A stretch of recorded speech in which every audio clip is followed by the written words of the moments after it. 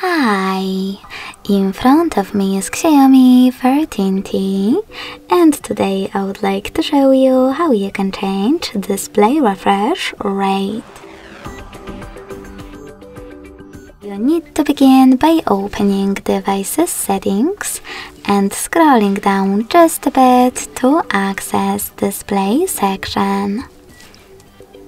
Following that, scroll down and tap on refresh rate.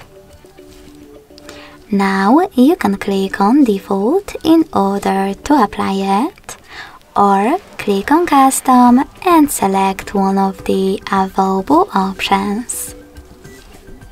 Wherever you decided when you're done, just click on the back button.